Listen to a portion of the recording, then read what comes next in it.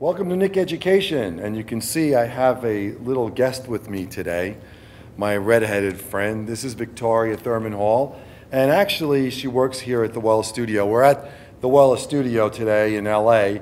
You can't really see it. I mean, we got like a white background, but this is massive, beautiful room we're working in.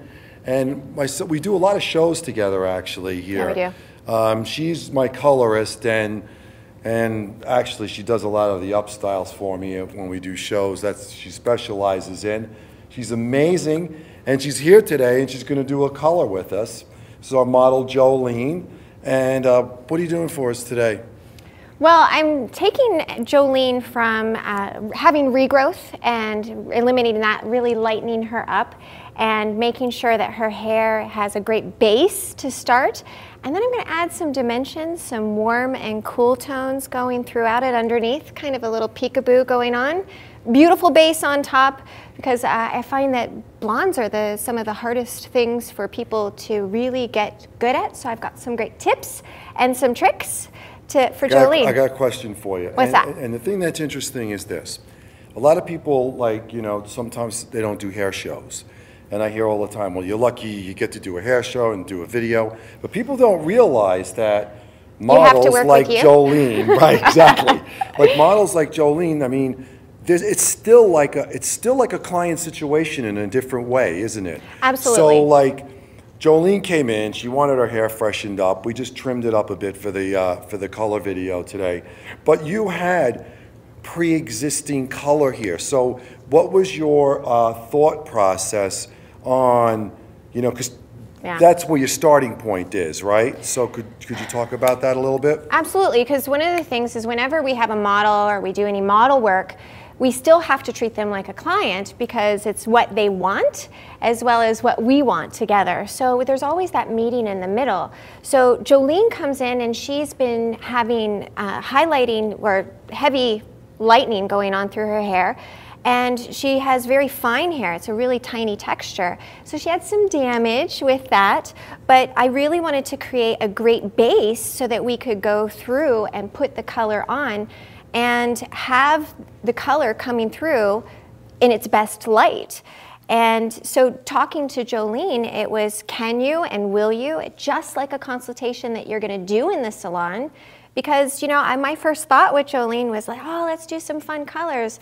But she's a working model. She's a working actress, and I can't go against what her headshots are because she needs at least some semblance of con continuity between everything. Well, I mean, I think that'd be really great for, you know, most of the uh, members on my website because they work on clients. Yeah. And um, could they use, like you're going to use a technique, which is yeah, it's it's great because it's going to have a color blocking. Yeah, right? color blocking and utilizing a veil to, so that all those colors aren't on top. And this can be structured not just for blondes, but it can also go for your brunettes who want a little pop of color. So it's utilizing, uh, you know, maybe a technique that's the economic buster because we're going to have a veil over the top. And then we're going to go through the sides and the back with the color that comes from underneath. So you can always reverse this and give it to your clients to where they have the opportunity to have um, you know, an up service for yourself, but it's an easy transition, be it light or dark. Um, uh, so the thing that's cool about it is, because I, I mention this all the time to uh, my members, because sometimes they get caught up in the haircut. Mm-hmm. And I always try to say there's so many techniques that go into one look. So this is something, it's not, they can use, if they focus on a technique, they can change the tones a little bit. They can change like their base color a little bit. So it's going to be something that they can work with. Absolutely.